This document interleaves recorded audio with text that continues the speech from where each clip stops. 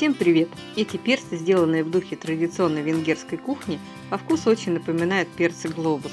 По этому рецепту перцы у нас в семье закатывал не одно поколение, ну и я не исключение. До сих пор они не приелись, и каждую зиму мы с удовольствием расправляемся с очередной партией. Рецепт очень простой и быстрый. Для него нужны только помидоры, сладкий перец, соль, сахар, растительное масло и немного уксуса. Помидоры мы используем сливки. Они мясистые и хорошо держат форму. Разрезаем их пополам и удаляем сердцевину. Если помидоры крупные, режем еще на три части, ну а мелкие можно просто еще раз пополам. По задумке, помидоры в готовых перцах должны оставаться дольками, поэтому лучше их не мельчить. С перцами тоже все просто. Предварительно тоже режем пополам, удаляем перегородки и семечки и нарезаем довольно крупной соломкой, примерно по 2-3 см толщиной. Тут у меня толщина 3 см примерно, ну, можно сделать и тоньше, главное не толще, потому что просто может не провариться потом. Одна такая закладка занимает 2 трехлитровые кастрюли под завязку.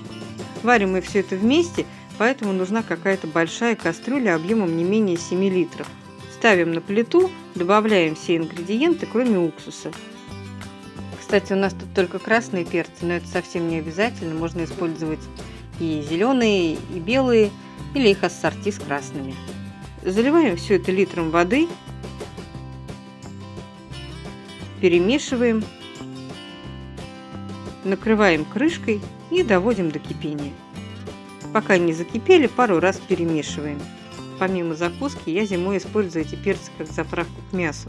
Мясо обжариваю с луком, мелкой соломкой режу перцы, добавляю помидоры и тушу. Очень вкусно.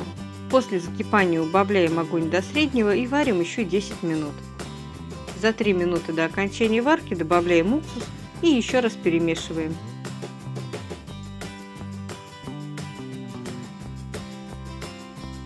Горячим сразу же разливаем по стерилизованным банкам и закручиваем.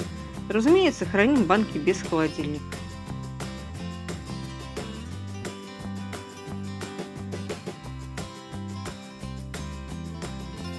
У нас такие перцы с помидорами лучше всего идут как дополнение к гарниру из риса и гречки, ну или как заправка в гуляш. Если у вас остались какие-либо вопросы, задавайте их в комментариях. Список ингредиентов, как всегда, под видео. Приятного вам аппетита и до встречи на канале.